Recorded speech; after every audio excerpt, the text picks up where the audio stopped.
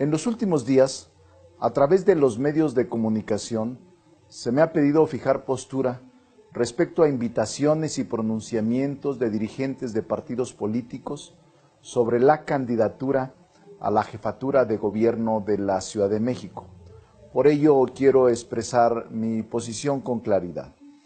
En principio, quiero agradecer a las dirigencias de las distintas organizaciones políticas y ciudadanas su deferencia al considerarme como una opción para gobernar nuestra ciudad. Lo cortés no quita lo opositor, ni debilita nuestra convicción. Sin embargo, debo decir que el sismo del 19 de septiembre modificó el tablero político. Estimo que los problemas que tenía la Ciudad de México antes del sismo más los que se han generado luego de él son tan graves que se requiere de acciones conjuntas y coordinadas. El gobernador que surja en el 2018 tendrá que ser el mandatario de la reconstrucción, pero también de la reconciliación. Por eso todos los actores son importantes en este nuevo proceso. La ciudad requiere de una dinámica de inclusión. Ya no pueden sostenerse gobiernos monocromáticos o monopartidistas. Es tan profundo el daño que estamos padeciendo que se requiere de la participación general para poder restañar, reconstruir, reconciliar a nuestra sociedad. Tenemos que darnos cuenta de que el terremoto despertó una nueva conciencia ciudadana y desató una gran energía y una fuerza indiscutible, particularmente de nuestra juventud, de la sociedad civil. La Ciudad de México fue sacudida en sus motivaciones políticas.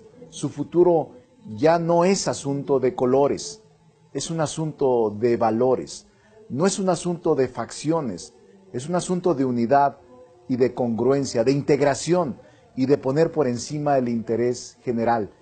Esto es lo que me mantiene aún en la atención de las secuelas del sismo. Sin embargo, el calendario electoral tiene sus tiempos inexorables y estoy reflexionando y valorando sobre los pasos que debemos seguir, incluyendo las propuestas que de manera respetuosa se nos han hecho llegar y que la responderé también en el mismo tono. En este momento en el ánimo de la ciudad y de su población, aún no aparece el tema de la política electoral y estamos actuando de manera congruente. Les confieso que son muchos los elementos que se deben de analizar y ponderar. La historia, los principios, las convicciones, la dignidad, porque lo que está en juego es el futuro de la ciudad, sí, pero también el de nuestra patria. Mantener abierta y firme nuestra aspiración es eh, lo normal. Por eso lo reitero, mantengo firme y abierta mi aspiración de gobernar la ciudad, aunque estoy consciente de que el 2018 será difícil, que el proceso previo de definición política de los partidos será complejo y que sin duda la contienda será polarizada.